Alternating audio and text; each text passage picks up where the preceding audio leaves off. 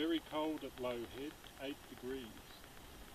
I got the rest of the day off after, and I'll tell you when that was sent.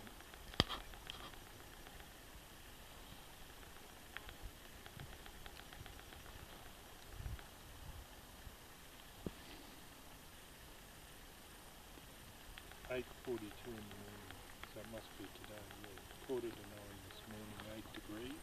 Mm-hmm. I got the rest of the day off after working three days.